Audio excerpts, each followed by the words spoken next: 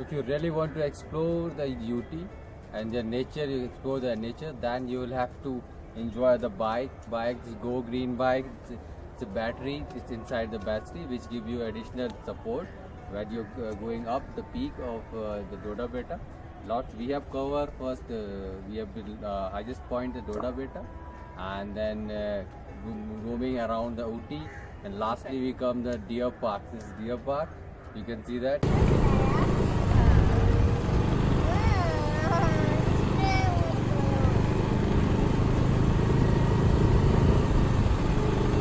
Awesome. And uh, definitely recommend the go green bike. This is uh, really awesome really experience for me and my family. Uh, they explore a lot of things. And uh, right uh, no word for me. Actually i've been experiencing my the childhood. Like i've been recalling my remember the childhood while being going with my friends and roaming there and where a lot of trips we have been done with the bicycle.